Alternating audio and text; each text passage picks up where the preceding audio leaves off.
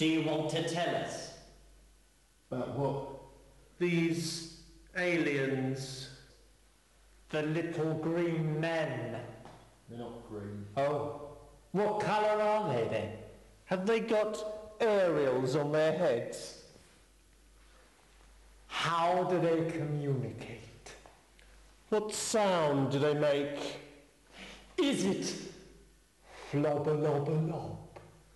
Is it pale ate the Tubby custard? Is that the sound they make? Yeah, yeah, that's it.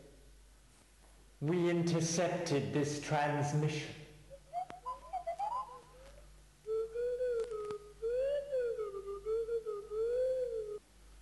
Now, what are they saying? What are they saying? Tell me. Tell me.